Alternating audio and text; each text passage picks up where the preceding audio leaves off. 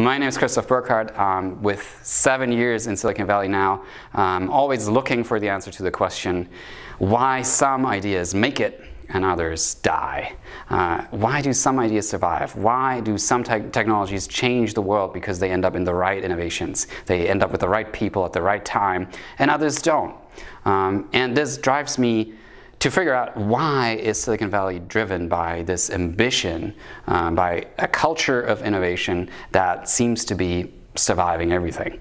Um, now, is there something we can transfer back to Germany or to Europe or to the rest of the world? What is the stuff that we can learn about the cultures of innovation, the way they use technologies, the way they set up their organizations to really transform things like how we work, how we live, and how these things that we change ultimately influence how our expectations and the next generation's expectations to us as business people change and how we can respond today already.